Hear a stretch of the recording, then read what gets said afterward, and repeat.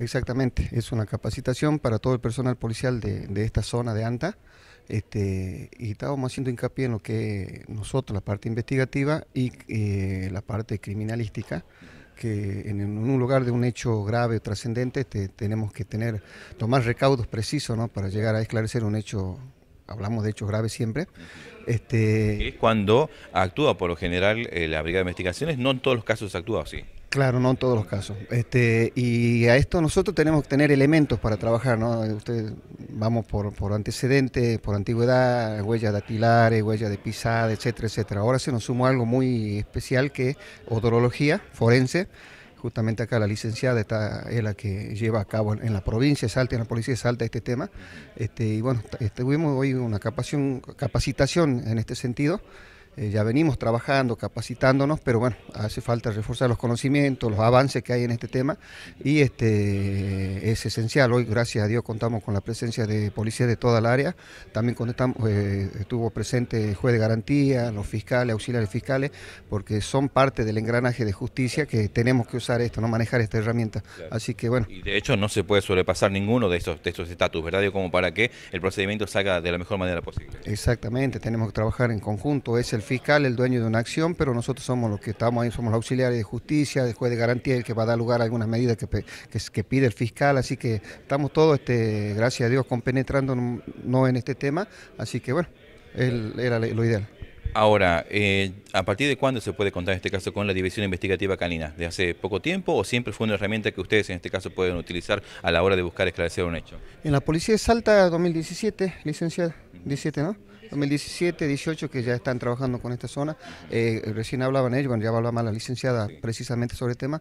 En lo que a nivel nacional son pocas provincias que están trabajando con esta, con esta, estas pericias o estas técnicas, así que somos agraciados en este sentido. ¿no? De hecho, nos contaba que ya tuvieron, ¿verdad? Una primera este, participación, trabajo en conjunto articulado.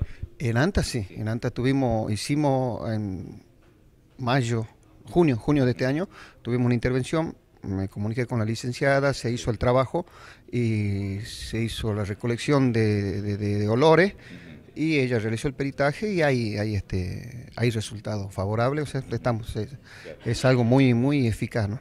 Eh, comisario, ¿siempre se va a poder contar con esta división o, tiene que partir necesariamente por lo que de alguna forma debe conocer el, trabajo particularmente del fiscal? Eh, eh, a ver, es algo que más o menos lo abordaría mejor la, licenciada, ¿no? Pero este creo que puede ser en todos los casos, pero hay que tener en cuenta a veces los recursos, la capacidad, por eso hablamos de hechos sumamente graves. Eh, licenciada Marilu Vázquez, bueno, eh, hoy en este caso de una capacitación nos contaba básicamente para reforzar conceptos seguramente, pero eh, aprender algunos en cuanto a la forma de trabajo. Sí, antes que nada, este, bueno, gracias por este espacio y me siento contenta de poder volver en este pueblo de Anta donde trabajé. Eh, sí, bueno, en la fecha estamos dando una capacitación de la técnica de odorología forense. Bueno, esta técnica, este, como dijo el comisario, ya venimos trabajando desde 2017, 18 y en el año 2019 se aprobó una resolución ministerial que está aprobado por el Ministerio Público y estamos avalados para poder emplear esta técnica de la odorología. Bueno, técnica de odorología a partir o a través de los caninos. Exacto. ¿Qué significa la odorología eh, forense? La odorología forense es una técnica que estudia los olores humanos. Los, olores humanos de cada persona es único y cada persona por segundo descama células epiteliales, por lo cual esas células se transforman en un indicio que, pueda, que podemos encontrar en el lugar del hecho o escena de crimen, donde el personal idóneo recolecta y a posterior es peritada con caninos entrenados y especializados para esta técnica. Eh, ¿Con cuántos caninos cuenta en este caso la división actualmente? ¿Qué se sabe? Actualmente cuenta con cinco canes en la sección de odorología, pero cuatro perros operativos que realizan este tipo de técnica y el trabajo judicial solicitado por el magistrado interviniente de la causa. Eh, licenciada, eh, durante la charla se habló acerca de los caninos, el trabajo, pero también se hizo hincapié en la raza, particularmente porque tienen tareas distintas o no. Exactamente, como explicó mi compañero hace rato, ustedes pudieron presenciar, eh, en este caso de una raza labrador que venimos trabajando. Estos animales este, reúnen ciertos requisitos, eh, condicionamiento, tienen que tener juego, presa, eh, ya el instructor de CAN ve que este perrito reúne las características para poder detectar olores humanos. La idea es, por lo general, trabajar con un solo CAN en cada operativo y, no más de uno. ¿Cómo, ¿Cómo se maneja esa cuestión? Bueno, en este caso, para una pericia judicial eh, se emplean dos canes o tres. Ideal son dos a tres caninos para hacer una pericia judicial y de poder detectar y hacer el cotejo del olor humano con el sospechoso. Eso les permite manejar, con, manejar a más de un ejemplar, en este caso, eh, em, comparar, si se quiere, que todos eh, sean eh, un mismo olor, quizás, digo, a la hora de, de, un, de una prueba. Eh, en este caso se realiza un cotejo, quiere decir que el olor que se levanta del lugar del hecho o escena de crimen con el olor del sospechoso que ya está demorado en la alcaldía o en la comisaría, este can va a cotejar como una rueda de reconocimiento con otros diferentes tipos de olores que son de testigos y este can es quien realiza la búsqueda del olor en una línea de exploración y si el can coteja y acierta que el olor levantado del lugar del hecho al olor de sospechoso hay una correspondencia, quiere decir que es una positiva. ¿Cuánto de porcentaje en cuanto a veracidad hay el trabajo del CAN?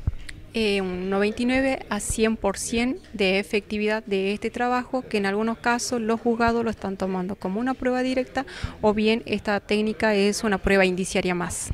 Licenciada, eh, también se habló, entre tantas preguntas que se hicieron en esta oportunidad, se habló acerca de los certificados. Eh, justamente estos animales están certificados, están avalados. ¿Cómo manejan esa cuestión? Estos animales están ya certificados y están avalados por un escribano de gobierno, quien certificó que estos canes están aptos para realizar este tipo de pericia judicial y ya están matriculados, cuentan con una matrícula, entonces ya está avalado esta técnica que sí son efectivos y están aptos para realizar este tipo de trabajo. Licenciada, últimas consultas. Por un lado, acerca de eh, el ejemplar. Hablaba acerca del procedimiento que se hizo en antes hace unos momentos. Eh, ¿Se trabajó precisamente con el labrador que hablamos o no? Sí, se trabajó con la raza labrador, con calcala, eh, dardo y, dina. Son los animales que realizaron las pericias y bueno, realizaron los cotejos con los olores que se levantó del lugar del hecho y bueno, ya se obtuvo un resultado que queda en consideración de la justicia. ¿Cómo creen ustedes? ¿Llegó el mensaje en este caso teniendo en cuenta que no solamente el fiscales, sino incluso el juez de garantías viendo todas estas cosas? Sí, este, tuvimos la oportunidad acá el juez de garantía, los fiscales, auxiliares fiscales, y la verdad que me siento contenta porque si bien venimos a capacitar a nuestros colegas que son los policías de distintos tipos de dependencia y unidades especiales, y es bueno que ellos lo sepan para poder este, solicitar este tipo de técnica y poder hacer este trabajo para dar una respuesta más a la víctima y ser una prueba más para el proceso y el posterior juicio. Bueno, comisario Alarcón, una actividad similar se va a llevar a cabo, ¿verdad? ¿En horas de la tarde o no? Sí, esta tarde continuamos, la licenciada y el entrenador de CANE, este, continuamos en la gita, capacitando al personal de esa área y bueno, todos sean bien, como dijo la oficial, ¿no? para dar una respuesta a la víctima cuando ocurre un hecho trascendente.